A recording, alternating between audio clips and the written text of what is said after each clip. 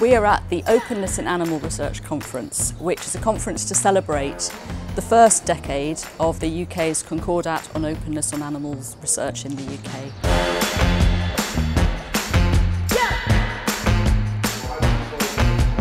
So it's important, I think, that we look back at all the achievements that have happened, the, the, fantastic examples of openness that various signatories and also colleagues from around the world